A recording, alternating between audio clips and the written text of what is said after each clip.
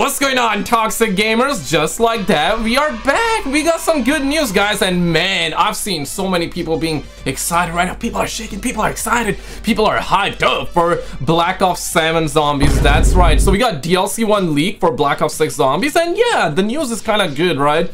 But guess what? It's only been a few days, right? But guess what, guys? Even Black Ops 7 has been leaked next year game. And I know like some of you guys are looking like this, quite frankly. I've been looking like this, but it's like an every year kind of situation, right? Like the video if you love your mama. Like the video if you do not buy the... Eh, eh, eh, like the video if you do not want the BBC bundles, the $20, the $30 microtransactions. Dislike the video if you love microtransactions. Shout out to the homie Dalek. Wait for it, guys. Roll it. We need to discuss a jaw-dropping leak that hit the internet this morning, and you can read from this video's title that the original Zombies crew of Nikolai, Richtofen, Takeo, and Dempsey will be returning to the Dark Aether storyline in 2025. Now, when I woke up and saw this news, I genuinely couldn't believe what I was seeing, so I'm going to dive into every single detail so you can understand exactly where this leak has come from, how genuine and trustworthy the source of this information is, and how this could affect Black Ops 6 Zombies and next year's Black Ops Zombies game when it comes to the storyline and the ramifications this could cause. You guys excited for Black Ops 7? Pause. But as I'm diving in and going through all of this, please let me know your thoughts in the comment section down below. And if you want to see this original crew return, then let me know by clicking the thumbs up button as I'm gonna- Honestly, the news is actually good. I was kind of shaking as well, like the homie Dalek. Oh! Oh, I'm shaking. When I heard, and, and you know what, Richtofen but to pull up and be like, my death was greatly exaggerated when he comes back, right? I also want to talk about DLC 1 in a bit, so wait for that. Roll it. Use that to gauge how many people want to see this crew back. Now, this groundbreaking news comes Like from an industry boys. insider called Tom Henderson, who runs the website Insider Gaming. He's one of the most trusted insiders Yeah. in the video game industry with a perfect track record of always being correct I I can vouch for the homie Tom. We have been covering Tom Henderson news on the channel for a while. I mean, he was behind that GTA 6 leak as well. He was the first guy to say that we're gonna have one female and one male protagonist in GTA 6, and he was the first guy to leak the Lucia Bruna as well for GTA 6. So yeah, he, he credible. He cre- he ain't lying. He ain't lying. And never reporting unless having concrete evidence and sources. Now, anyone on the internet could create a leak like this, and there'd be zero proof. But when it comes to Tom Henderson, he would never report on any gaming leaks and news like this if he wasn't 100% confident that it was correct. It goes without saying, but still take this with a big grain of salt. Due to his accuracy in leaks in the past, it's very likely that there is definitely some truth behind this. Diving into the article, and we're going to be quoting straight from it, he starts by Okay. saying several sources have revealed that Call of Duty Zombies original crew might be making their return in Call of Duty 2025. No the way. news comes from several sources who were invited to Call of Duty 2025 playtest and feedback sessions, where it was revealed that the original They're already playtesting the next Call of Duty. Oh my god. And, and you got people out here, you know, talking about the skill-based damage for multiplayer. And I gotta be honest, Black Ops 6 is kind of kind of odd, right? It's better than Dustborn, it's better than Concord. Uh, what what what what other what other game coming to your mind that you think it's better uh, than? I would say Concord and Dustborn 110%. And Black Ops 6 is odd, you know, it is odd. But Zombies is inferior if you're gonna compare it to Black Ops 2 Zombies and Black Ops 3 Zombies yeah, it's missing a little bit of the atmosphere, atmosphere uh, vibe that we used to get back in the days for Black Ops 3 Zombies, Black Ops 2, pre-Warzone era, post-Warzone, yes, they have Warzoneified, but even after that, Black Ops 6 Zombies so far has been the best, I would say in comparison to whatever we got in the last five years, right? But it's not as good as Black Ops 3. But if the zombies, the premise crew comes back in the next game or by the end of this game, which is likely, I think they're gonna set up the storyline in a way where by the end of this, uh, maybe even in DLC 4, we're gonna see like the premise crew back. And the next game, we're playing as the premise crew, Richtofen Ta- Takeo Dempsey. Makes sense. And there's apparently like leaks with uh, TranZit. Some people believe that we're gonna get Zombie Chronicles 2. I mean, the leaks about Zombie Chronicles 2 has been ongoing ever since we had Zombie Chronicles 1 all the way back in Black Ops 3. So I don't know if they're ever gonna do that. Perhaps they're gonna do it in the next game and we're gonna get to that. Wait for it. original crew for zombies are set to make their return. Now, about two weeks ago, there were Call of Duty 2025 feedback sessions that leaked There with we go. imagery from a slideshow explaining details about the game's multiplayer and campaign. But in this report, Dempsey, Takeo, and Nikolai were all said to be featured as a part of the feedback sessions, with no one eagle-eyed zombies fan stating that the versions of the characters that were shown were not Ultimus, but instead were older versions of the Primus characters. According to the same sources, the zombie storyline will evolve around a new enemy character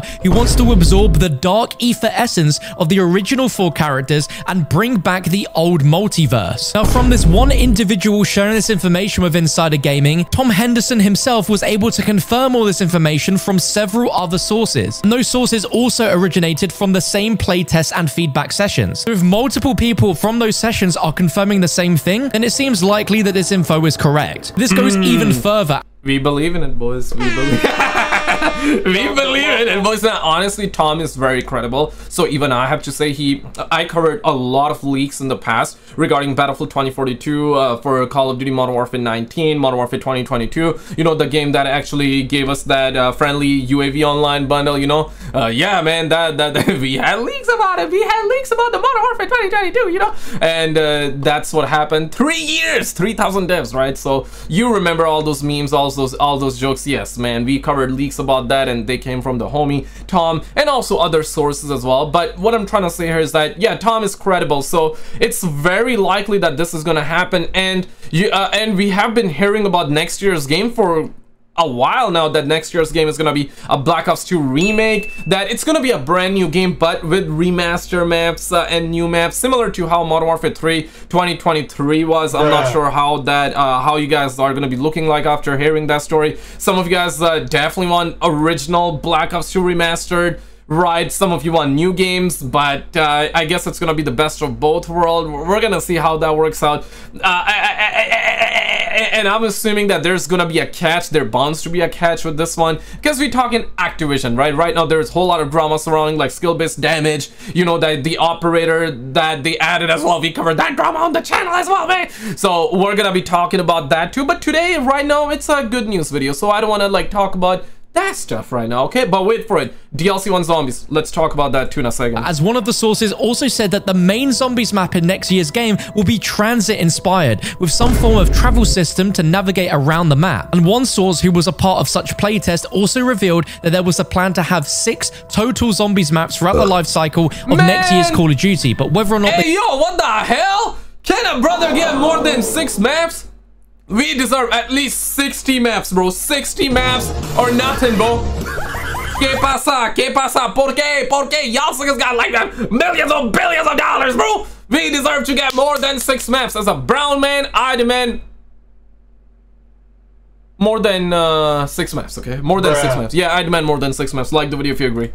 The game's scope has changed is unclear. He ends it by saying it's worth stressing that these playtest events usually have some variation to the details. And by that, he means in one session, a group will be told that X is returning, and then in another feedback session with a completely separate group, they will say that Y is returning. That way, if anything leaks, they can pinpoint the origin of it based on the info only being told to one group this is like you know the area 51 kind of stuff guys you know if you have been you know in the conspiracies and all that you know Bob Lazar actually came out uh, years decades ago right he said that yes we were put in like different rooms different groups right and if somebody leaked information they would know who leaked the truth about aliens right so yeah if you if you are into conspiracies, you know what I'm talking about. I have a second channel by the name of Scary Axe, where we cover all sort of that kind of crap, right? But sounds familiar, man. Like it seems like Treyarch is like Area 51 right now of uh, of zombies or some crap. instead of several groups. But on top of that, these playtests and feedback sessions are usually done way ahead of the game's release in order to gain valued feedback for the development. Tom Henderson says, however, from what he's been able to determine, this information has been at various different feedback events worldwide and has been present over the last 12 months or so from these No feedback way! sessions, suggesting No that the way! information is almost certainly accurate. But he does premise this by saying never say never. But it is crazy to be talking about next year's Call of Duty game when Black Ops 6 is not even a week old. But according to Insider Yo, next year I think will probably be decent year. But here's the thing though, you know, Stud Muffins rise up. Stud Muffins, we gotta have an emergency meeting immediately and wait for it. We gotta get to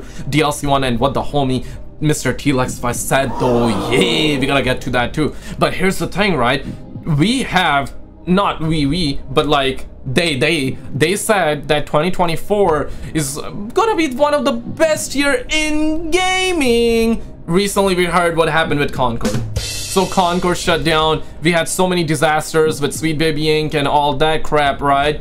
We've seen, we've all seen what happened in video games. We're seeing what's going on in video games and Black Ops 6, honestly, it's a pretty odd game. I know some of you guys are not liking it, some of you guys are loving it, some of you guys are mixed with it too, which is fair, though everybody got different opinions and that's understandable, but Black Ops 6, the reason it feels alright is because we don't even have any games right now. Seriously, think about it. I'm, I'm, of course, we got like some smaller games here and there, some niche specific games. Maybe there's a game that you like, but what I'm trying to say here is that we don't necessarily have a big household name game that's out there that is solid and good and that people are playing right now. Mostly all of uh, everybody, right? Black Ops 6 is the only big game so far that uh, that is being talked about. Whether you love it or hate it, that's like a different debate, right?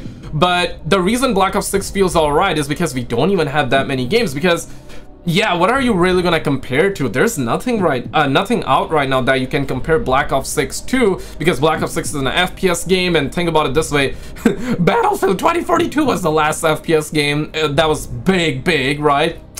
You know what happened with that. We all know what happened with that. Even though right now Black Ops uh, or Battlefield 2042, I played right before Black Ops 6 came out and I enjoyed my time. But it's not the best Battlefield game and now it's like whatever, whatever. It, it, you know what I mean? The next Battlefield game is confirmed, but we don't know when it's coming out. We're assuming that it's gonna come out by the end of next year, 2025. So see, 2025, we got GTA 6 coming out. Unless they delay it, of course. Black Ops 2 remake or Black Ops 7 or whatever they want to call it, uh, call it, right?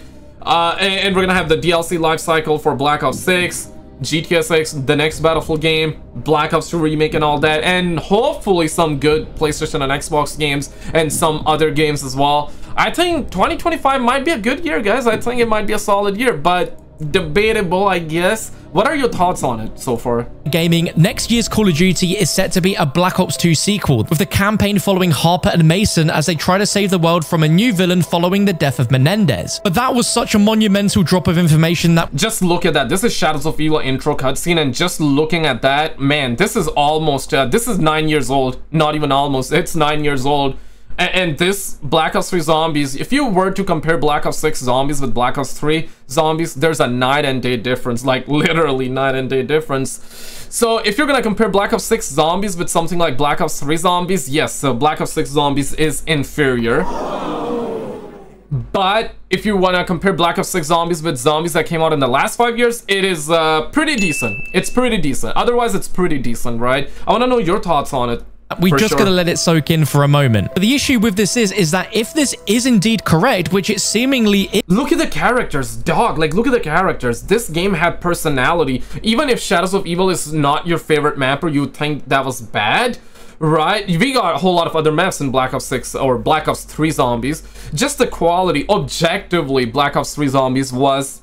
It had a soul. It had a personality. Black Ops 6 Zombies lacking that I wouldn't say big time. Black Ops Black Ops Cold War Zombies lacked personality big time. I mean, we didn't even have a crew. This time we had a crew, but it's more like Warzone-ified and all that. So, I mean, I, I want to see Primus back, for sure. Absolutely. Is, and this news potentially puts a slight dampener on the Black Ops 6 Zombies story arc, as we sort of have an idea on where it could be leading with the idea that these characters are going to return. But there is a huge fundamental problem with this leak, and it comes in the form of what's happened and been set up for the storyline in order for us to now be in the Dark Aether one, and that this crew of characters are dead. The only yeah. character that remains from this crew is Richtofen, who, Damn. along with Samantha, started a brand new life in the Dark Dark Aether where they joined it when they were... They all want to say psych! They're children. The other remaining characters of Nikolai, Takeo, and Dempsey, as well as the Primus and Ultimus versions of Richtofen, all sacrificed themselves so that they could end the multiverse, as the reason the cycle kept repeating is because of their existence and their links to the ether. We went through a 10 plus year journey with these characters to get to the resolution that we did, and as far as clear storytelling is concerned, that is a full story and character arc of all of those characters. They went through a journey which was absolutely incredible. We all love these characters, but at the end, they had to die in order for the story to come to a conclusion. And if these characters were going to... You know what? What I did not like about Black Ops 4 Zombies started off strong. Minus the HUD debacle, blue screens debacle, Black Ops 4 Zombies started very, very good. And they rushed it out because of Red Dead Redemption 2. Because, uh, yeah, Red Dead Redemption 2 came out in 2018. Black Ops 4 came out in 2018. Black Ops 4 Zombies, looking back at it, the maps were actually pretty solid, I would say, till like, uh, maybe DLC 1, DLC 2 right? After that, they had Nuketown Remake, and I'm a massive fan of Nuketown Zombies. I know not everybody's a massive fan of TranZit or Nuketown Zombies.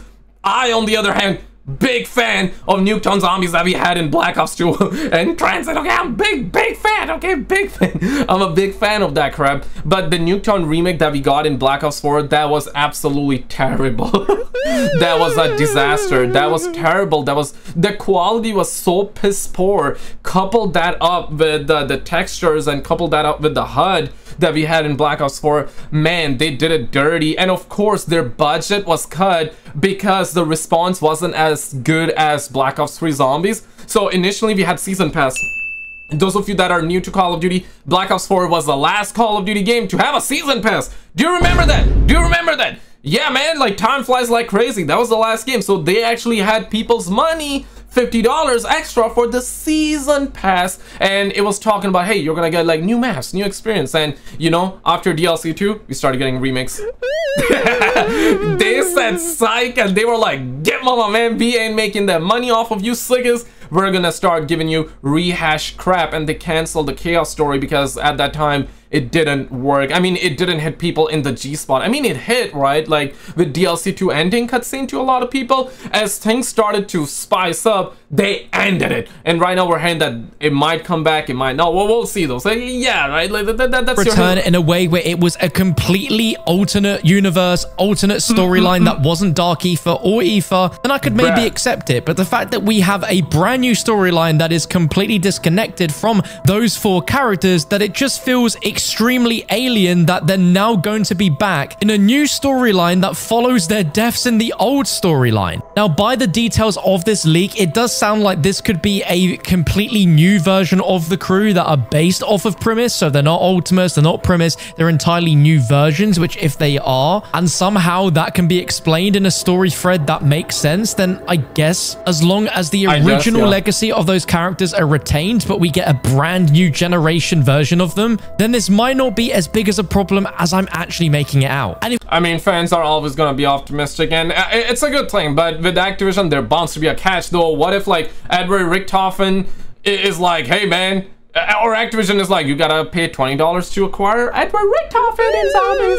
You know what I'm saying? Like, imagine they do that. But uh, let's talk about DLC 1 Zombies. Shout out to the homie Lex Roll it. Black Ops 6 Zombies DLC 1 has almost officially been confirmed because of what we've seen in the Terminus ending cutscene, giving us a lot of clues here with the Samantha AI. With this bottom folder on the middle yeah, here, it go. actually says the word keep. And the characters here, they talk about the Sentinel artifact and also going towards a place called Avalon. Now, Avalon is actually based within the King Arthur sort of mythos. Oh man, I I I I don't know what's going on in the story so far. I might catch up later. But man, this is like all of us right now, man. Damn, this is how we be looking like waiting for GTA 6 and for Call of Duty to get better. This year, the game is odd, but for four years, man, mm, you know what I'm saying. Zombies can be a lot better, though. It's growing on me, and I feel like it's growing on a lot of people. And, uh, it, you know, news that we're hearing today is good, though. I'm, I'm gonna be honest, I don't want to dog on it because the news is kind of decent, right? It is decent. Let's hope they don't ruin it, though, because right now they're starting to build it back. You know what I'm saying? Uh, it's not there yet and it's alright. Hopefully it's gonna be there eventually, but they're building the hype back, I guess, and getting fans back. I don't know. I, I want to know your thoughts on that one, uh, for sure. But what's crazy is that Avalon, when you've played the BO6 campaign, is actually where the casino mission itself is set, which is why I even tweeted it out that I am almost 100% confident that the next map is going to be the casino map. Now, with them posing the Sentinel artifact in the game, it definitely makes me wonder if they are... Well, the...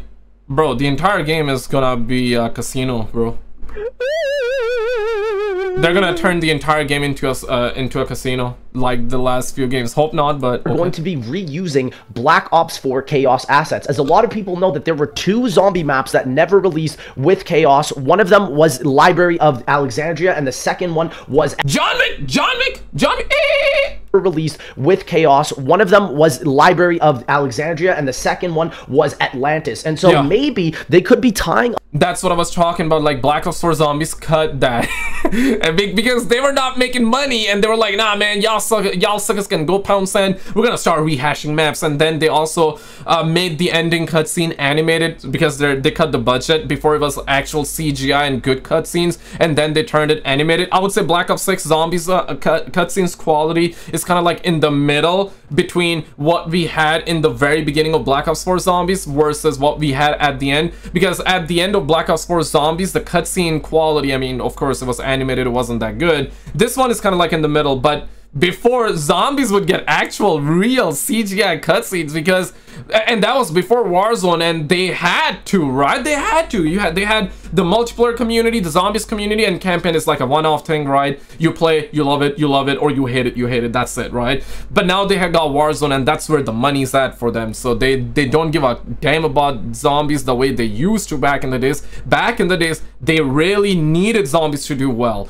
Now if it does well hey good. If it don't do well well, who cares? That's where they at with it. So that's why the quality is not that good. But it's alright. So far, it's alright. But a lot of the chaos lore that they already have in with what is going to be happening soon. And I want to really talk about this because this is a big deal that we have some sort of clue with DLC 1 already. I was even confident enough to say that Black Ops 6 Zombies DLC 1 is a casino map in Avalon. And somebody's even brought up the Wikipedia link that Avalon is another mythical island map. So this could be crazy. Where is a magical place where King Arthur's sword Excalibur was made. And so this could be interesting because we could literally be going into a World War II sort of zombie style where the whole point of the DLC in that game was actually to make a sword of Barbarossa. And that could be really cool, tying it in with the campaign and obviously giving it its own little flair, which to me, I think is the greatest way to go with this game. Now that we know that next year's Call of Duty 100% is a Black Ops 2 sequel for sure, yeah, and we yeah, are somehow going to be getting Primus back in that game as well. And so that makes me incredibly excited that hopefully honestly though the excitement is kind of back a little bit i would say. Uh, black ops 6 zombies is not terrible. It's not amazing but it's growing on me. And with this news that we're hearing the next year games thankfully it's not gonna be infinity turd uh infinity thankfully infinity ward is not on it plot twist that probably are working to a certain degree but hey whatever right? But guys check out this video on the screen. Recently we had a massive dr disaster drop about what just happened with this youtuber. I'm not sure if you guys saw this or not. Insane update insane news. Check it out and i'll see you right there